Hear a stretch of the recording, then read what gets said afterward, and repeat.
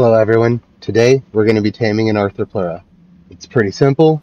Get you some ghillie, get you bug repellent, and then you just sneak up, take a broth of enlightenment,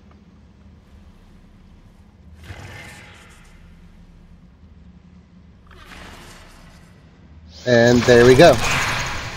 Just like that, you have your own Arthropluera. It's literally that easy to tame one of these guys. I hope this helped you out. If it did, don't forget to like, share, comment, and subscribe. It really does help me out.